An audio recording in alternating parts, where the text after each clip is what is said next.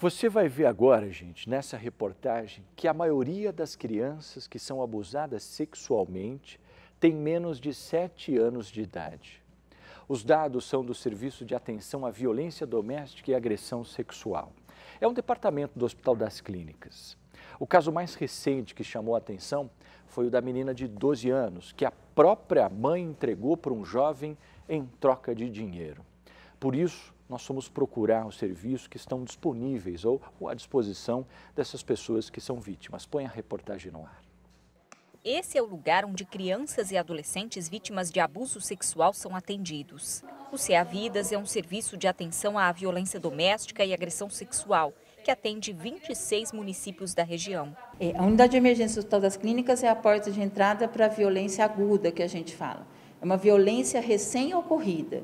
Porque qual que é a intenção, o objetivo de que a unidade de emergência seja a porta de entrada? Para que a gente possa oferecer para essa pessoa em situação de violência as profilaxias, as prevenções em relação à infecção sexualmente transmissíveis, a própria gestação, né, a própria questão da anticoncepção de emergência. Só esse ano foram 354 atendimentos. Quase 60% desses casos, as vítimas têm de 0 a 13 anos de idade a maioria é menor de 7 anos, um dado que vem crescendo nos últimos tempos. E a gente tem tido é, uma evolução dessa demanda de crianças de 4 anos, 5 anos, 6 anos, 7 anos, é, de uma forma bem mais é, marcante do que antes, e mesmo em termos de, de porcentagem também. É, isso é, é isso assim, qual a importância disso?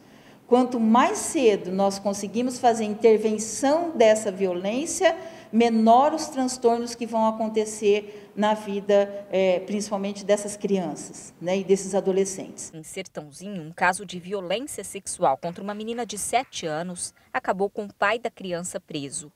A vítima contou sobre o abuso numa gravação de áudio. É, sabe aquilo que eu te contei? O que, que você me contou?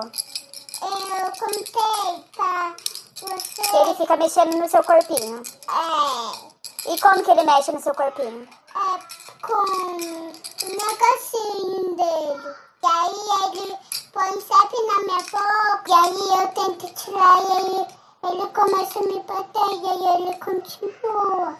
É porque eu não gosto.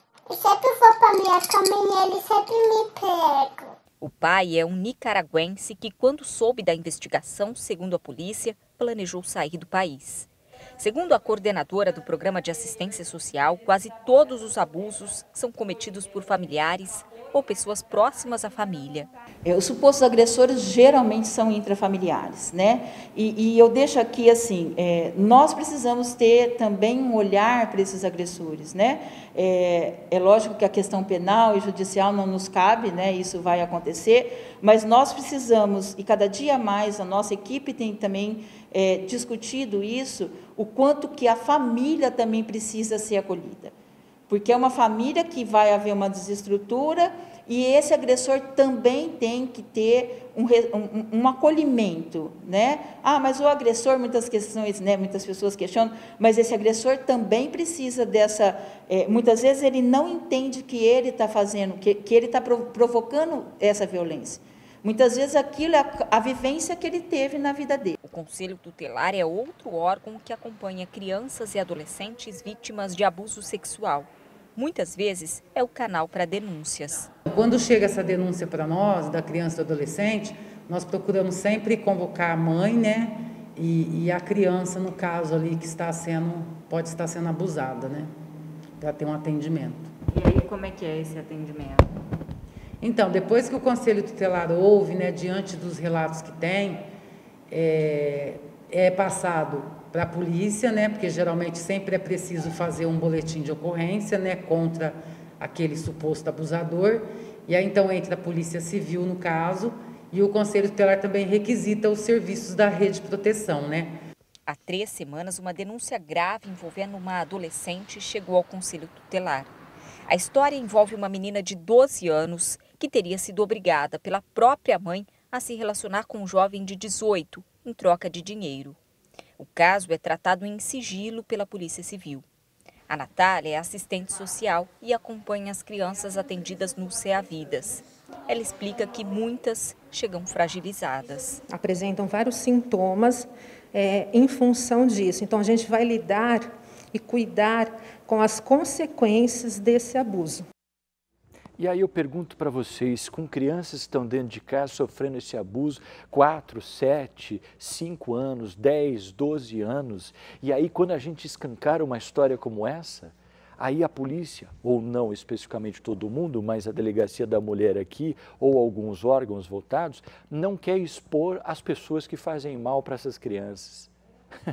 Eu não consigo entender. E eu digo para vocês, essa reportagem nós fizemos exatamente para fazer o quê? Incentivar denúncia.